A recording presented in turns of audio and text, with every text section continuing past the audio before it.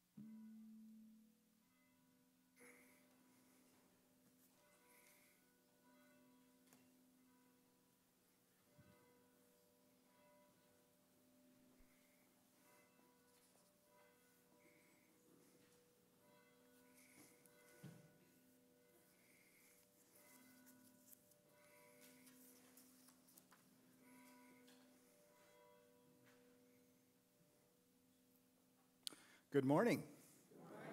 Welcome to worship, to our combined worship service this morning.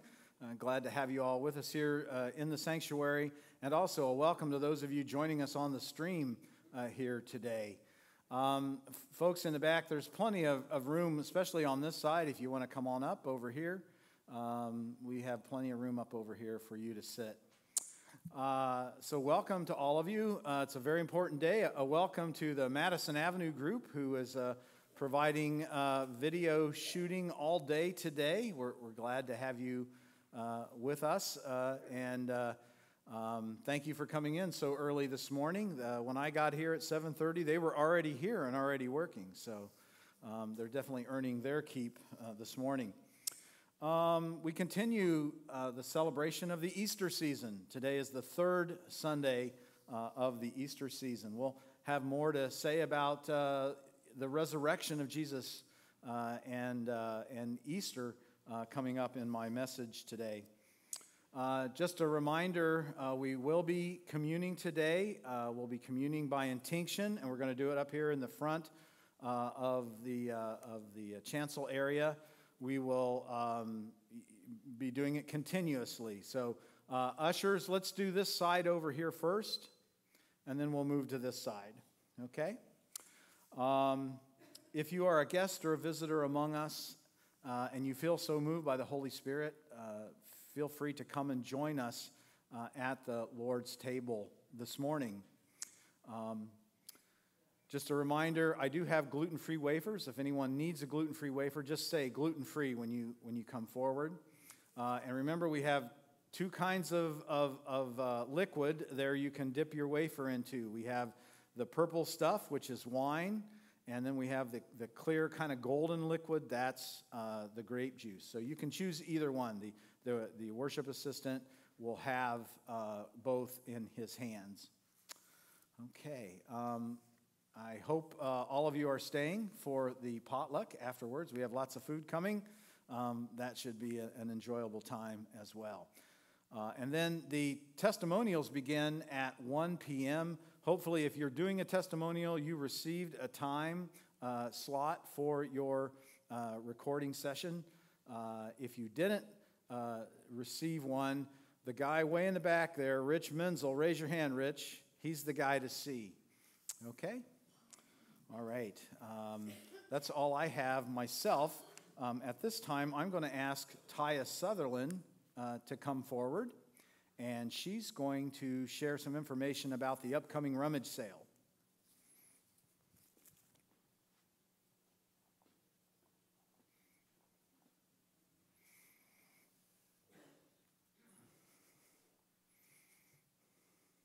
Hi, good morning. Good morning. The annual rummage sale will be held in two weeks on Saturday, May 6th from 9 a.m. to 3 p.m. in the gym.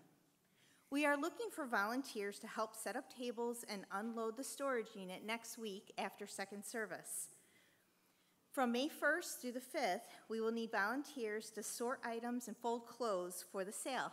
The gym will be open each day during office hours and until 8 p.m. So please come when it is convenient for you we can really use the help. The storage unit is outside and ready for your donations, but just remember that the last day to drop off donations is Thursday, May 4th. That gives us time on Friday to make sure everything is ready on, on Saturday. Lastly, we will need volunteers on the day of the event, and we will provide a lunch for you. So if you have some time on that day, we would love to have you. The event is always very well attended, and so your help is greatly appreciated. If you have any questions, please see me or Beth Polly after the service. Thank you so much.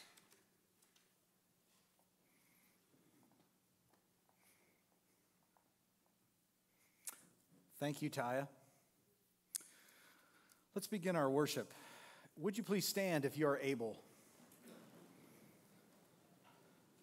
We will begin with the brief order of confession and forgiveness. We begin in the name of God, the Father, the Son, and the Holy Spirit. Amen. Let us pray. Almighty God, to whom all hearts are open, all desires known, and from whom no secrets are hid, cleanse the thoughts of our hearts by the inspiration of your Holy Spirit, that we may perfectly love you and worthily magnify your holy name. Through Jesus Christ our Lord. Amen. The Apostle John wrote to the church in his first letter, the first chapter, the following words If we say we have no sin, we deceive ourselves, and the truth is not in us. But if we confess our sins, God, who is faithful and just, will forgive our sins and cleanse us from all unrighteousness. Let's take a few moments to reflect upon our own personal sinfulness and our need to uh, confess before Almighty God.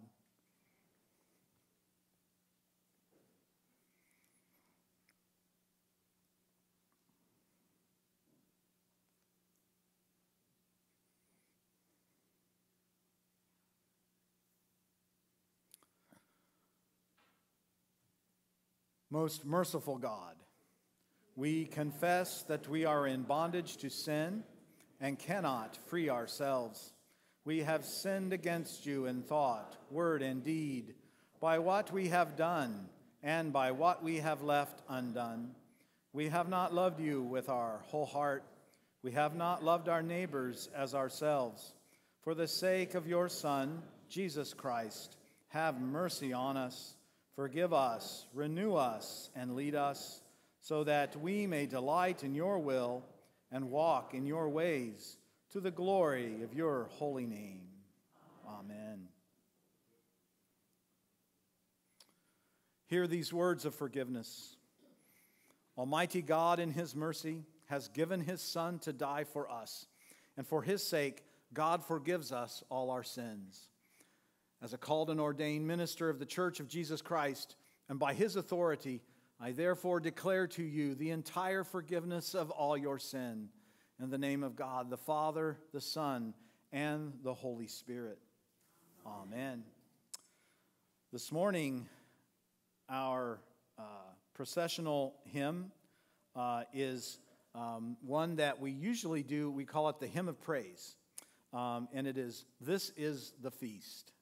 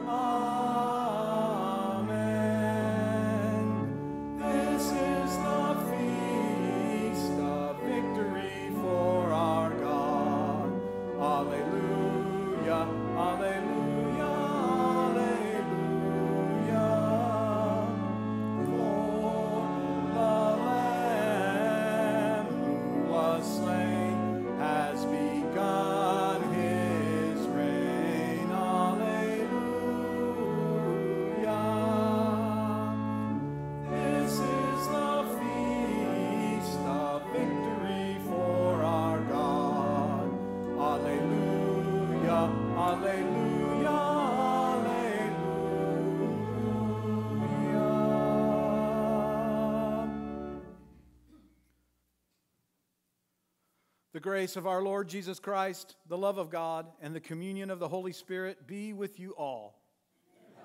With you. Let us pray. Heavenly Father, by the death and resurrection of your Son, Jesus Christ, you lifted up this fallen world, rescuing us from the hopelessness of death. Grant your faithful people a share in the joys that are eternal. This we pray through your Son, Jesus Christ our Lord, who lives and reigns with you and the Holy Spirit, one God, now and forever. Amen. You may be seated. At this time, I'll ask the choir to come forward and share in uh, an offering of, of, of praise for us this morning.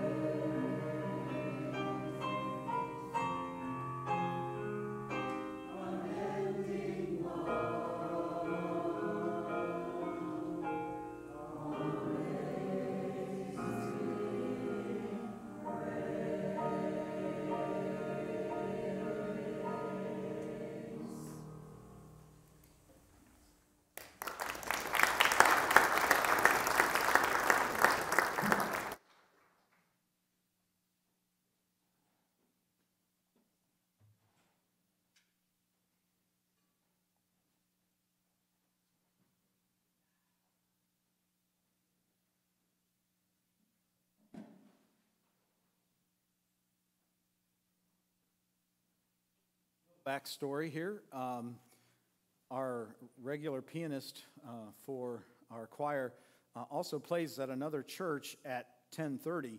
Um, so obviously she couldn't be here today. So she came in and recorded that for us, and then we are playing it to her or singing it to her recording. So just so you know, um, that's why all the messing around up here with a monitor and everything.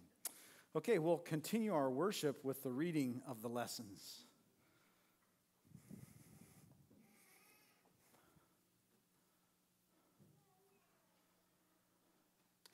Good morning. This morning, for our first lesson, I will share with you several verses from the Apostle Paul's letters concerning what it means to be the church. I urge you to live a life worthy of the calling you have received. Make every effort to keep the unity of the Spirit through the bond of peace. There is one body and one Spirit, just as you were called to one hope. Conduct yourselves in a manner worthy of the gospel of Christ. Then stand firm in one spirit, striving together as one for the faith of the gospel. Join together in following my example, brothers and sisters, and just as you have us as a model, keep your eyes on those who live as we do.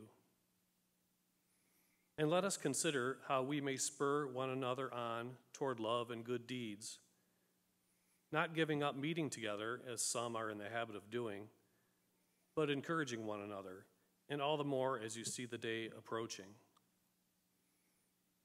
When you come together, each of you bring a hymn or a word of instruction, a revelation, a tongue, or an interpretation. Everything must be done so that the church may be built up. And pray in the Spirit on all occasions with all kinds of prayer and requests.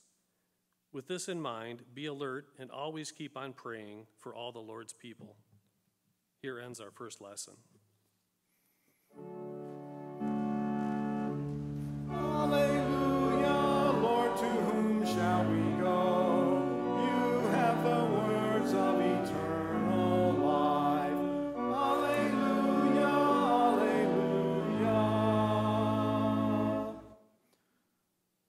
Holy Gospel according to St. Luke, the 24th chapter.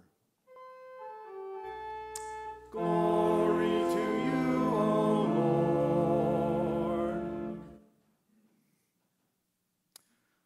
I'm beginning uh, in uh, the 24th chapter at verse 13. Now, the same day, two of them, two disciples, were going to a village called Emmaus, about seven miles from Jerusalem.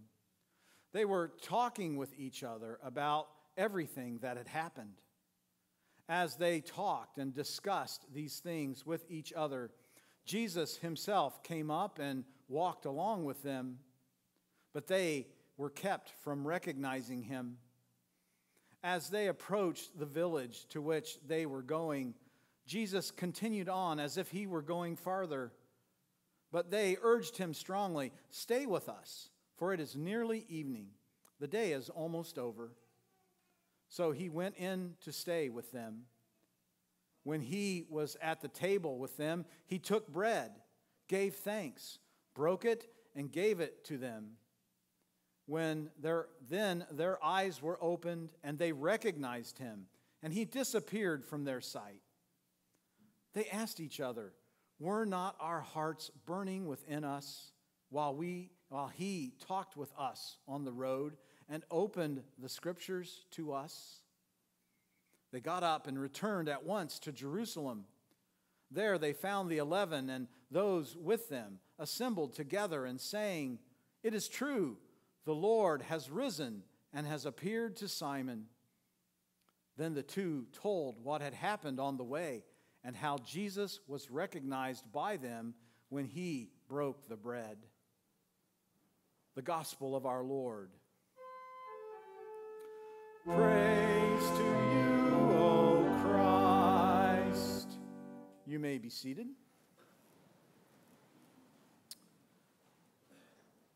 Today we continue in our Growing in Christ series, uh, and uh, we are actually uh, talking for the second week about the importance of the church for your spiritual life. Uh, and so uh, we continue uh, memorizing this particular verse from the Psalms, Psalm 122 1. Why don't you rehearse it with me?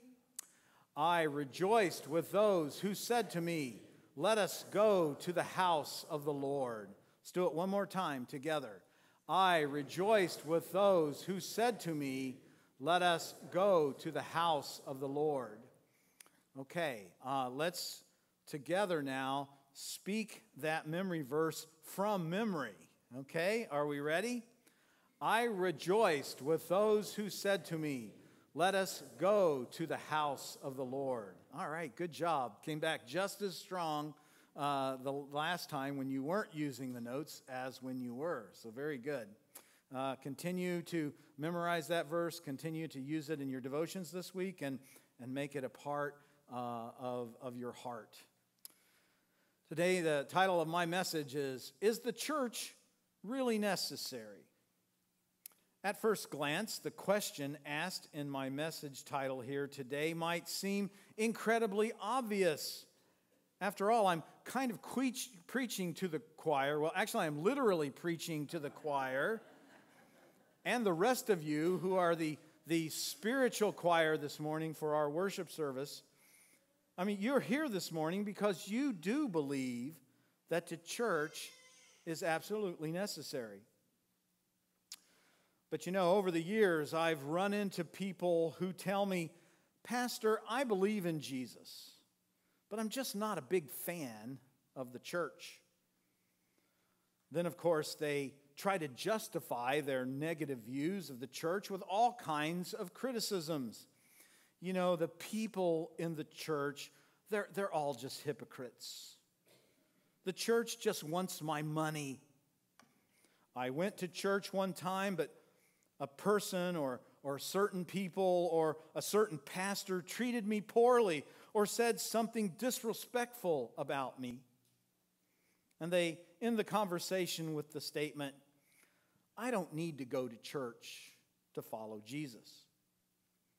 Now, I'm sure that what I'm speaking to you here this morning is, is not really new to you. I'm sure you run into people like this all the time as well in your daily interactions with people, maybe even a, a family member or, or a good friend.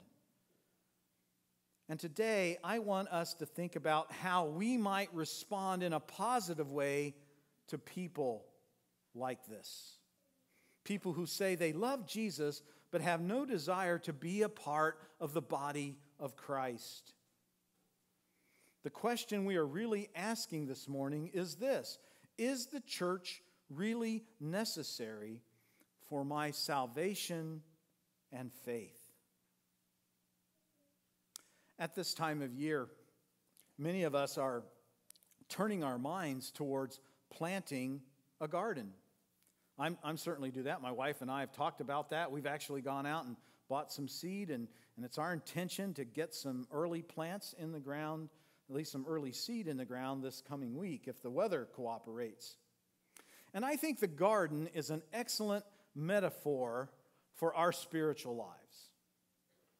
We know what happens to a garden that is unattended over time. Weeds grow up and choke the plants you've planted. Disease and insects attack the health of your plants. All of these conditions lead to what? They, they lead to unhealthy plants, sickly fruit, and a reduction in the, the quantity and the quality of the fruit that you produce. In a similar way, our spiritual lives suffer when neglected, when our spiritual gardens go untended. Without constant prayer, Bible reading, worship, and fellowship among fellow believers in the faith, our faith gets stunted. And it wilts on the vine, doesn't it? Under the pressures of the world and the, the culture around us. We may think we love Jesus, we may think we have strong faith. We may think we know and do God's will. But what ends up happening more times than not is that our beliefs begin to resemble those of the world when we're not hanging out with fellow Christians in the body of Christ. Think about that. I saw a meme on Facebook recently. A man says, it was kind of like divided into two, two panels, and a man says, I don't have to go to church to believe in God. That was in the first panel. He's kind of speaking to you. In the second panel, the man is looking in a mirror at himself. And on one side of the mirror, it says, Me. And on the other side of the mirror, it says, Myself. And at the top of the mirror, it says, I.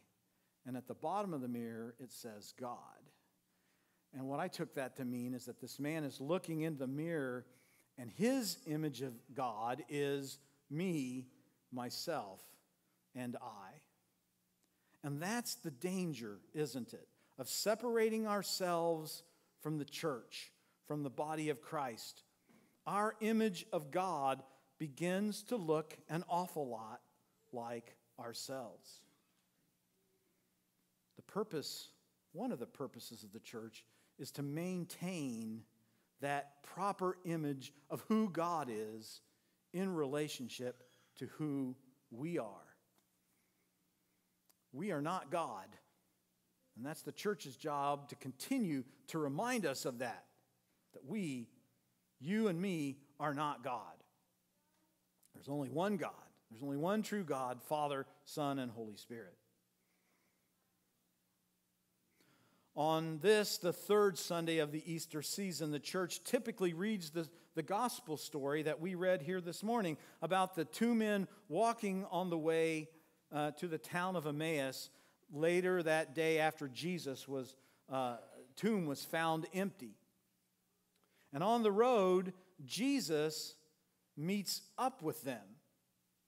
Uh, now, his, th- their eyes are kept from recognizing him, our scripture says. But Jesus meets up with them and begins to explain to them the true gospel.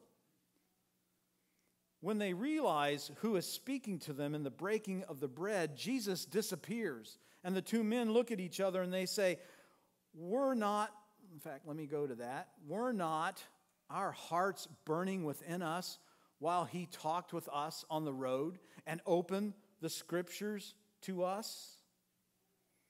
You see, one of the primary purposes of the church is to preserve and to proclaim the one true gospel of Jesus Christ. In other words, you need the church to make sure that you uh, keep the gospel straight in your minds. There's, there's something about the, the human mind that, uh, you know, left to its own devices, um, it has a tendency um, to start molding and shaping things and, uh, you know, like reinterpreting history um, to, to fit our particular needs of the moment. And uh, if I find myself uh, not in, uh, in sync with the true gospel of Jesus, my mind sometimes wants to change that gospel so that I feel more comfortable. So, one of the jobs of the church is to continue to speak the truth of the gospel, even if it hurts, even if it makes you uncomfortable. And we try to do that here in this church. We try to do it in the church universal. Another thing that the, uh, the church tries to do uh, is, uh, is to create unity within the church, well, unity with God and, and unity uh, with one another. That's why we proclaim one true gospel. You know, if we lived in an ideal world, every single church and every single community throughout the world would proclaim the exact same true gospel of Jesus Christ. Now we know, you know, we're, we're human and, and, and, you know, we make mistakes and we, you know, we, we fall. uh, off into the weeds from time to time, and so sometimes we get it wrong. Sometimes the church gets it wrong. But our prayer should always be that the church is proclaiming a gospel that unites the church universally throughout the world. Uh, here's what Paul told the church at Ephesus. Uh, our reader Mike read this earlier today. He, uh, Paul says, I urge you to live a life worthy of the calling that you have received. Make every effort to keep the unity of the Spirit through the bond of peace. That's a, just a critical, critical thing that we have to be doing as the body of Christ. We have to be looking for unity of the Spirit. And the unity of the Spirit comes through the proclamation of the true gospel of Jesus. You know, we, we have a word for that, this, this unity of the Spirit through the bond of peace. It's called community. Community, the contraction of two words, common unity. What's our common unity? Jesus Christ and Him crucified and raised from the dead. Now, I'm going to back up there. In Ephesians 4 1, Paul says, I urge you to live a life worthy of the calling you have received. Living that life, living that life to which you have been called, is not easy. It's a countercultural life. It's not easy to swim upstream against the prevailing thinking and beliefs promulgated by our society and our culture. The church is the place where you receive the encouragement necessary to resist the idolatrous teachings promulgated by the false prophets who have the megaphones in today's world. Now, think about that word encouragement. Okay? The word encouragement means to have courage infused, to put courage in you. And so you come to church to receive the courage to live the life to which you have been called, which is to follow Jesus, to be his disciple. Here's another word from Paul that Mike read earlier this morning. Make every effort to keep the unity. Oh, uh, not gotta go. Gotta move on here. There we go. Conduct yourselves in a manner worthy of the gospel of Christ. Think about that. Conduct yourselves in a manner worthy of the gospel of Christ. In other words, know the will of God and do the will of God in your life. Stand firm in the one Spirit, striving together as one for the faith of the gospel. And I'm going to read on here. And let us consider how we may spur one another on toward love and good deeds, not giving up meeting together as some are in the habit of doing, but encouraging one another, and all the more as you see the day approaching. You see, if we are to live as Christ has called us to live, we need each other. We need the encouragement of, of each other. We need to be encouraging one another to hang in there and to live the life that God has called us to live, to live as, as Jesus taught, regardless of how the rest of the world treats us. You know, and right now, you know, the church has kind of fallen out of season hasn't it, with the rest of the world? And we're taking a lot of hits. There's a lot of ridicule directed at the church. And you know what I say? So what? So what? That's their problem. That's not our problem. We know what we're supposed to be doing, right? We know that we are to be living as God has called us to live. And that's what we ought to be concentrating on doing. That's why it's important to be in your Bibles and, and, and just studying the teachings of Jesus and Paul and the other apostles and the other prophets so that we know exactly what our marching orders are and just get out there and do it. Keep your eyes focused on Jesus, focused on God, and don't worry about the rest of the world. Okay? God's at work in the rest of the world. The Holy Spirit's at work in the rest of the world. God will lead you to who you need to speak to. God will lead you where you need to go to be faithful to Him and to fulfill your calling. And so, you know, the church is the place where you learn what it means to be a follower of Jesus. You know, as one of our liturgy prayers says, uh, you know, one of those post communion prayers. In fact, I might even use it today at the end of our communion. We talk about living, uh, uh, turning to Jesus as a model of the godly life, as a model of the godly life. That, that model there um, is not just Jesus, but it's also the great saints in the church today who are living the faith, living it faithfully, and who end up being for us examples of what it means to live a life worthy of the calling that we've received in Jesus. And you know who those people are. When you don't come to church, you don't get to rub elbows with those great saints who are living the life. You don't get to receive from them the encouragement and, and, and the, uh, you don't get to receive from them, um, you know, that, that push to be like them and, and to, to model your life after them. So Paul tells us, he says, join together in following my example. Paul's saying, uh, you know, look to me. If you want to know what it looks like to live uh, the gospel worthy of your calling, then, then look to me, brothers and sisters. And then he says, and just as you have us as a model, keep your eyes on those who live as we do. If you want to be successful in your faith life, if you want to be, if you want to be fruitful in your faith life, find, find some mentors in the church. Find some people who are doing it really good and get with them. Rub elbows with them. Befriend them. Hang out with them. Be a pest. All right? Ask them questions. Ask them to help you be a better disciple of Jesus. And you know what?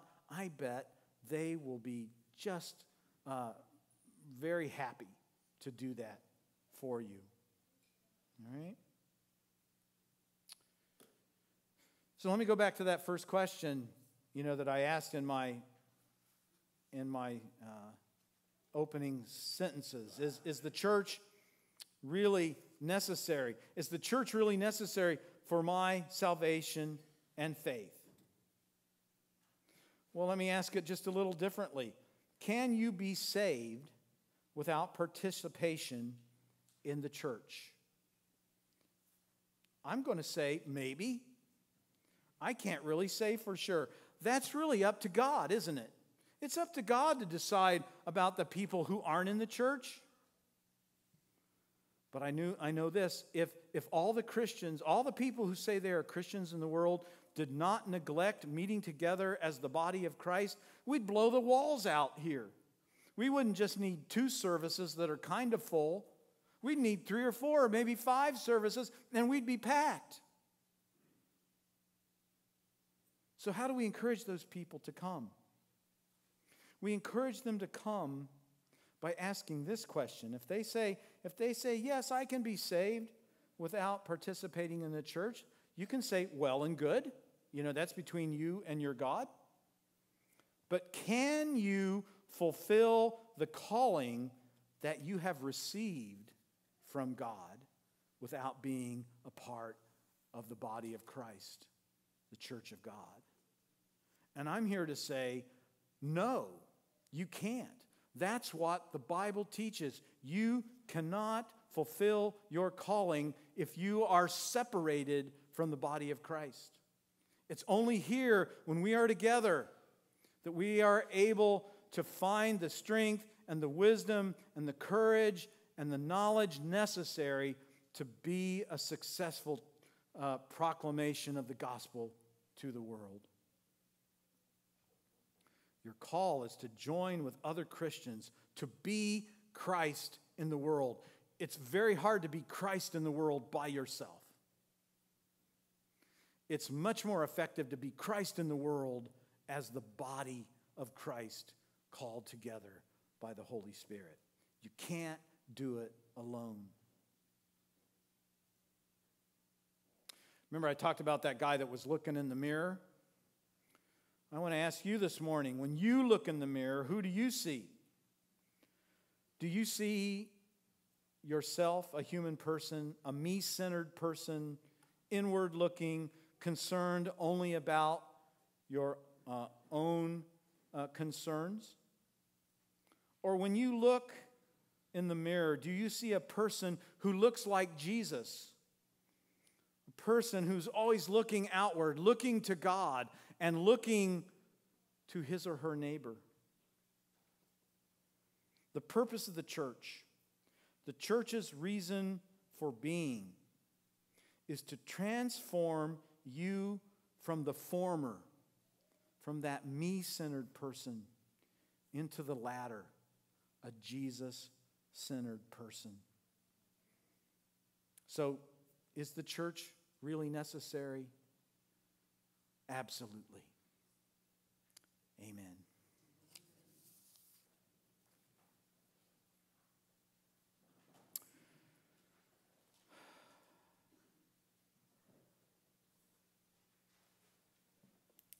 As we prepare to approach God this morning with our prayers, let me uh, ask Are there any joys or victories you'd like to share with the congregation this morning? Birthdays, anniversaries? Got it, got over here?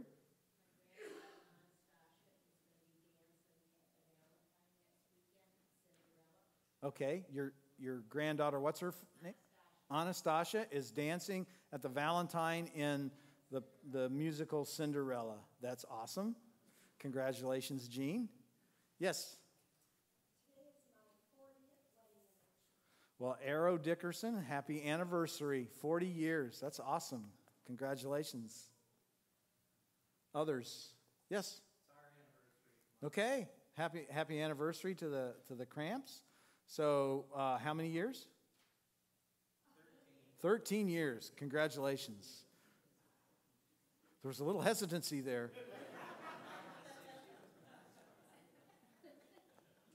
Other joys this morning? Anyone else? Yes.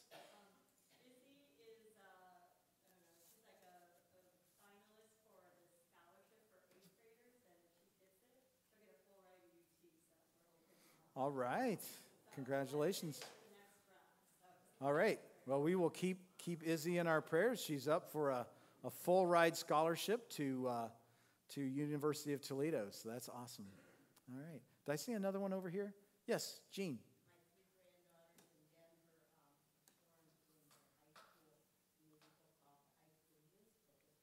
Okay. So, Jean, you have lots of joys in your life. So, Jean's uh, granddaughters in Denver, all three of them uh, are in it's the musical called the High School Musical. All right. Awesome. Any other joys? Yes, John. Okay. We'll tell him we said happy birthday. Happy birthday to Bob. Anyone else? All right. I have a couple additions to our prayer list here this morning. Uh, we want to add uh, Keith. Uh, he is a uh, cousin of Bob Emptage. He has a chronic illness, so we'll pray for Keith.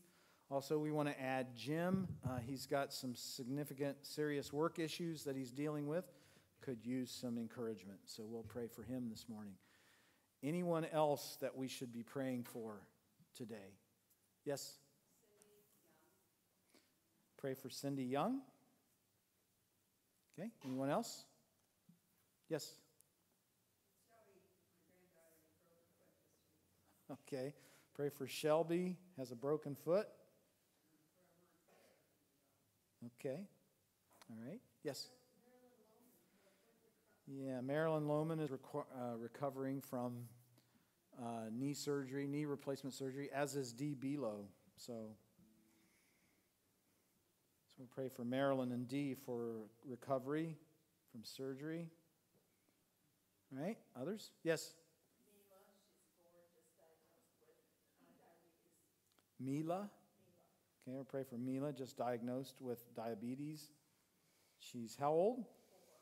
Four years old. Oh, that's young. Okay, thank you. And there was another, yes?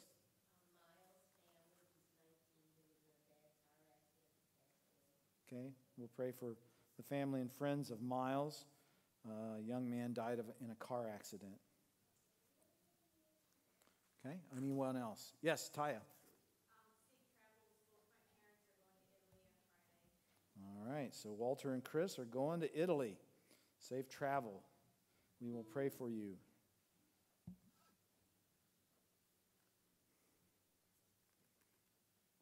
Okay, anyone else? Do I see one? Yep, yep.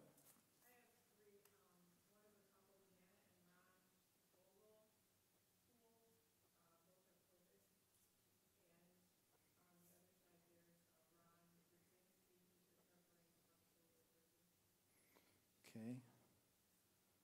All so we'll pray for Janet and Ron who have COVID, and another Ron who has, is recovering from shoulder surgery. All right, anyone else? Lots of prayer requests today. All right, let's bow our heads and pray. Father in heaven, gracious Lord, we thank you for this opportunity to gather together as your people to gather in this place. We call this building a church building because it houses the church, the body of Christ, this, this fellowship, this, this family of faith that you've called together by your Holy Spirit. Lord, help us to never take this family for granted. Uh, help us to never lose contact with this family.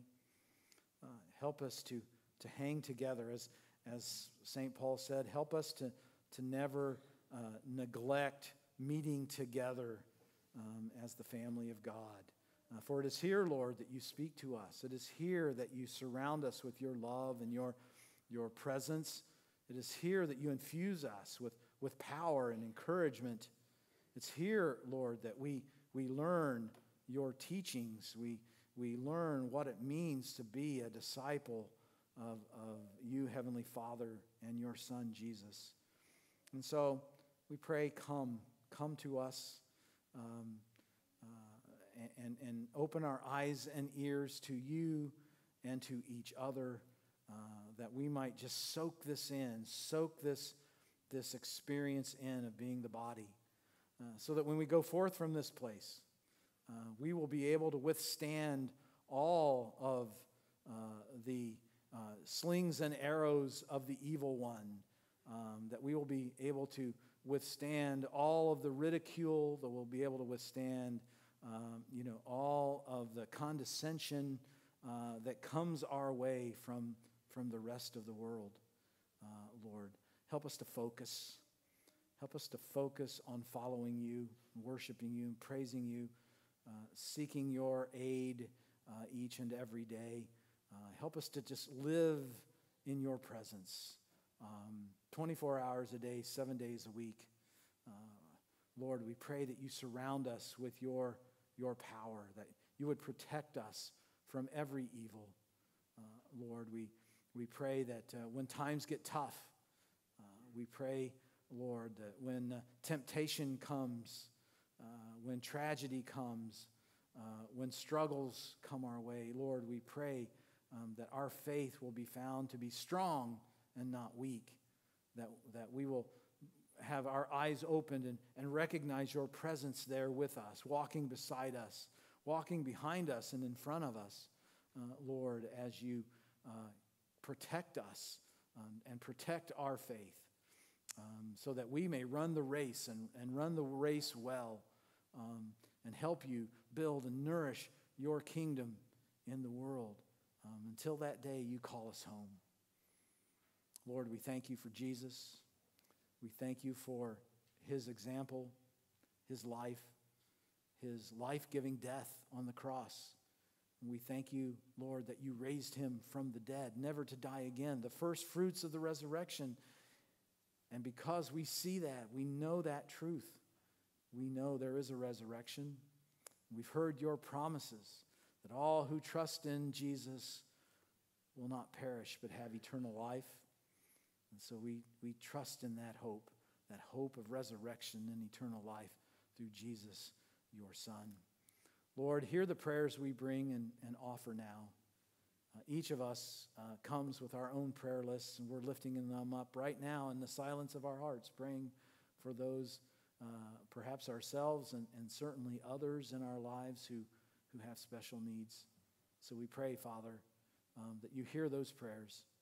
Hear the prayers for those on our prayer list that we publish. The, our prayers for those we mentioned here at the beginning of our service. Um, for Jim, we pray for Keith. We pray for Cindy and Shelby, Marilyn and Dee and Mila. We pray for Janet and Ron and for Ron, for Chris and Walter, that they have safe travel. We pray for consolation to be upon the family and friends of Miles who passed away in a car accident. Lord, you know the needs of all these people for whom we pray. We pray that you anoint them with your healing power. Bring them the healing and the wholeness that they require as is best for them in accordance with your will. Lord, we come together as one body today uh, we, we have one worship service today, and then we're going to gather for a fellowship meal. We pray that you just be in work in this, in this worship service, be at work in our fellowship later on. Lord, just by the power of your Holy Spirit, draw us closer together to you. Um, draw us closer together to one another, that we may hang together and be the church in the world. And may um, we be an example uh, to the rest of the world of what you are asking of us. May we be an example to the rest of the world of how much you love us and want to be a part of our lives. We entrust ourselves to you. We entrust our world to you, Lord God. All of this we pray in Jesus' name. Amen. Amen. All right this time, uh, ushers, I'm going to ask you to come forward uh, and receive the offering.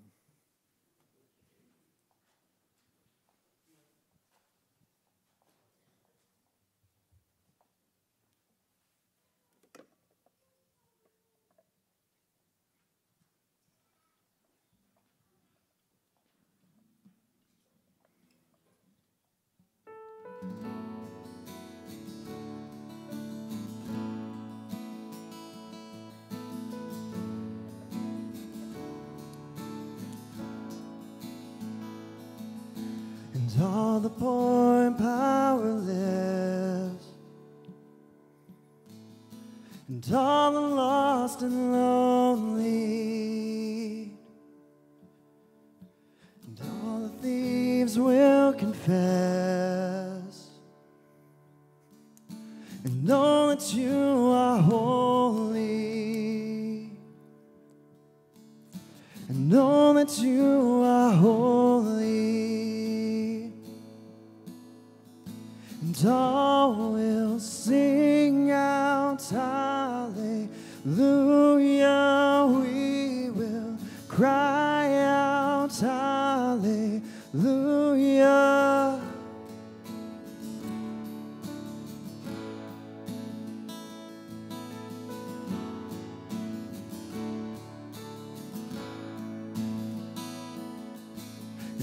All the hearts who are content.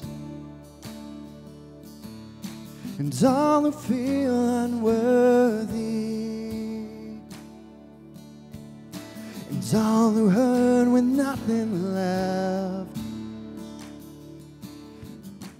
Know that you are holy, and all will sing out, Hallelujah.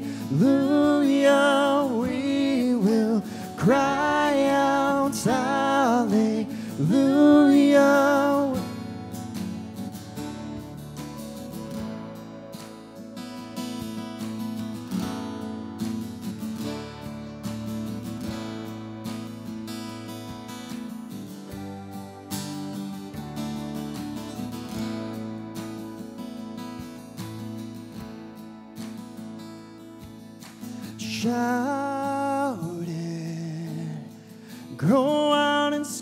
It, from the mountains.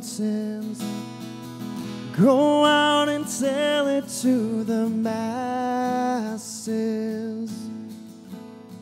that He is God. Shout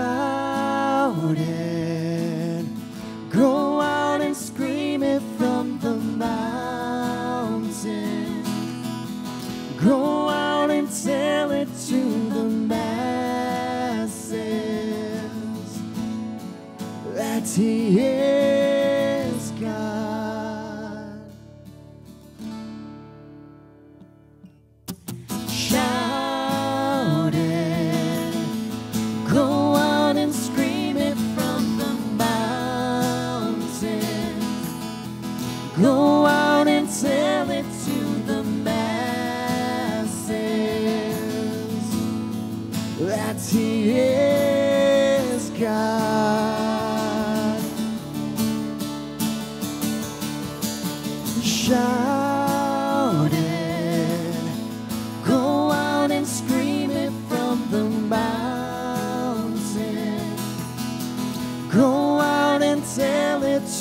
to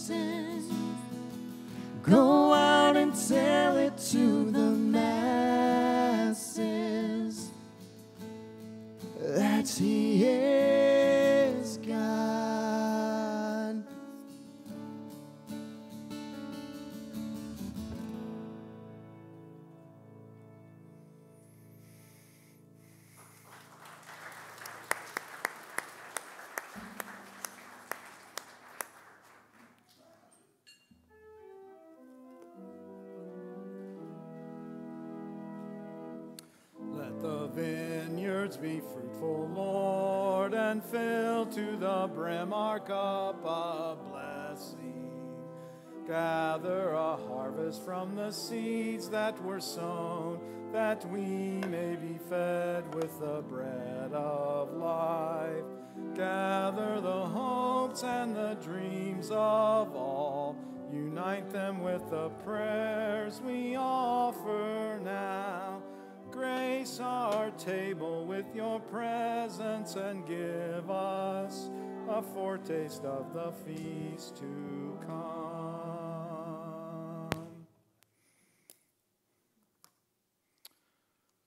Let us pray.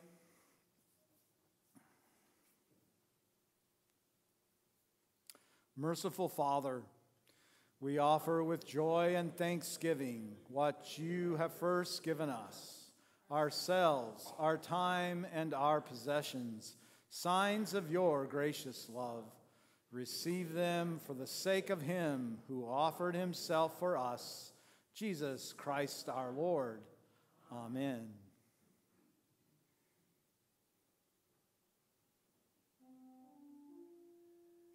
The Lord be with you and also with you. Lift up your hearts. We lift them to the Lord. Let us give thanks to the Lord our God. It is right to give him thanks and praise. It is indeed right and salutary that we should at all times and in all places offer thanks and praise to you, O Lord, Holy Father, through Jesus Christ our Lord. But chiefly, we are bound to praise you for the glorious resurrection of our Lord Jesus. For he is the true Passover lamb who gave himself to take away our sin, who by his death has destroyed death, and by his rising has brought us to eternal life. And so, with Mary Magdalene and Peter and all the witnesses of the resurrection, we praise your name and join their unending hymn. Holy, holy, holy Lord, God of power and might, heaven and earth are full of your glory. Hosanna, Hosanna, Hosanna in the highest. Blessed is he who comes in the name of the Lord. Hosanna in the highest. Blessed are you, Lord of heaven and earth. In mercy for our fallen world, you gave your only Son, that all who believe in him should not perish, but have eternal life. We give thanks to you for the salvation that you have prepared for us through Jesus Christ. Send now your Holy Spirit into our hearts that we may receive our Lord with a living faith as he comes to us in this holy supper. Amen. Come, Lord Jesus. In the night in which he was betrayed, our Lord Jesus took bread and gave thanks. He broke the bread and he gave it to his disciples, saying, Take and eat. This is my body given for you. Do this for the remembrance of me. Then our Lord took the cup. He gave thanks and gave it for all to drink, saying, This cup is the new covenant, the new testament, the new promise in my blood, blood shed for you and all people for the forgiveness of your sin. As often as you drink it, do so in remembrance of me.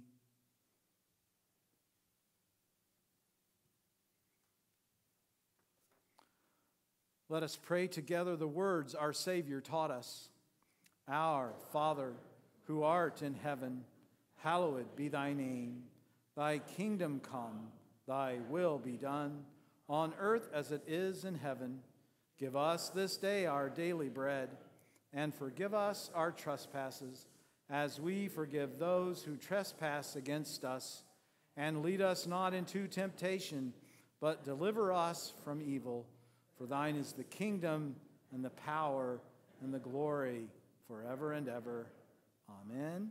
You may be seated. And helpers, would you come forward, please?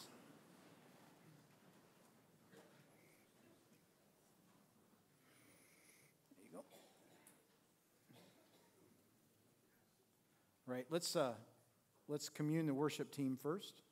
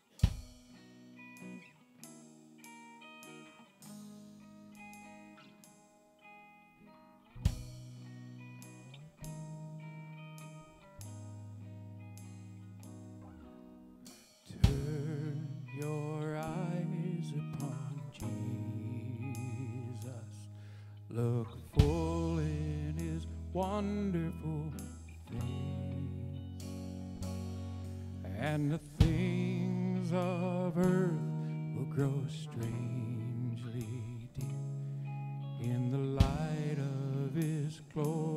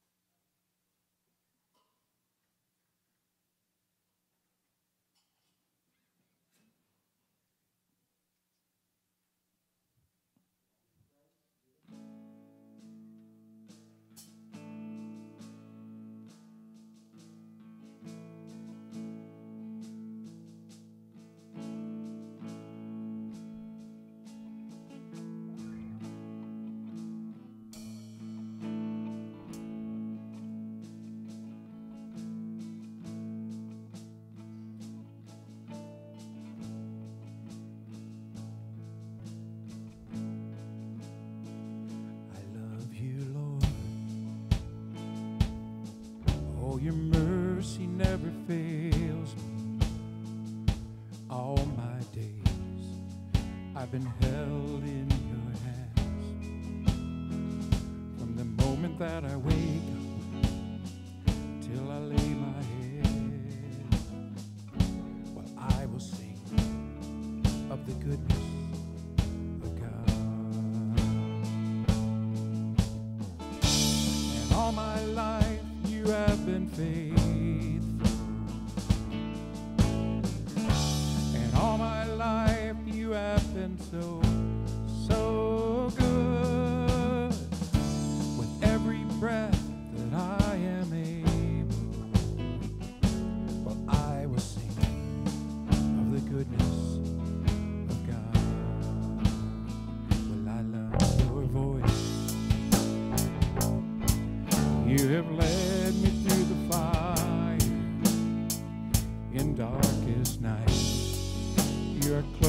like no other.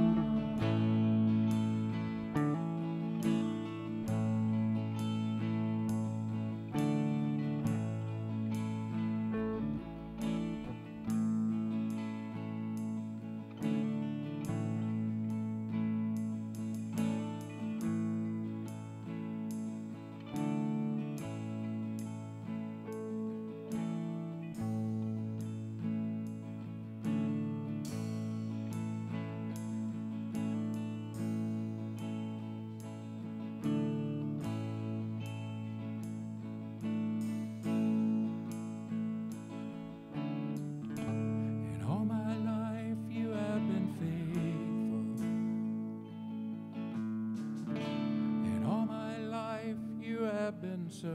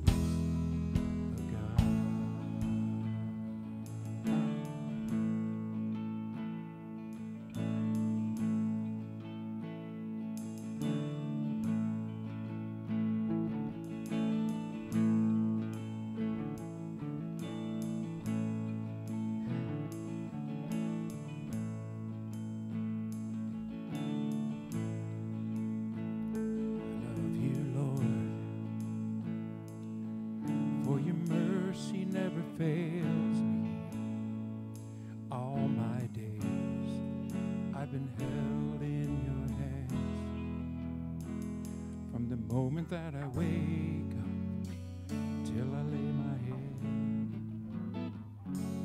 I will sing of the goodness of God.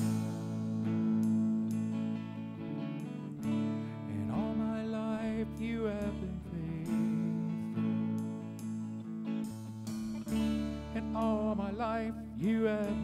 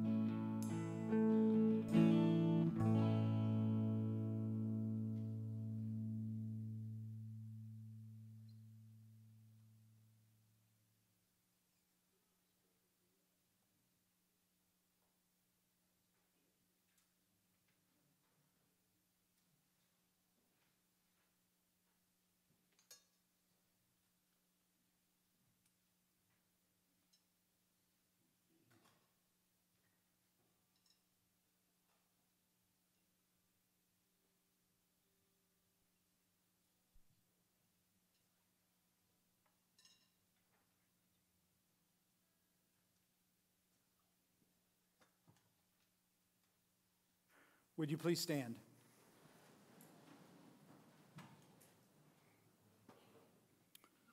Let us pray. Almighty God, you gave your Son both as a sacrifice for sin and a model of the godly life. Enable us to receive him always with thanksgiving and to conform our life to his. Through this same Lord Jesus Christ, we pray. Amen. And now may the Lord bless you and keep you. May the Lord's face shine on you and be gracious to you. May the Lord look upon you with favor and grant you his peace, now and always. Amen. All right, our sending hymn today is not in the hymnal, uh, it will be on the screen. It's uh, called Christ Arose. Uh, up from the grave, he arose. So I'm sure you'll be uh, familiar with it when we sing it. It's a good hymn. Low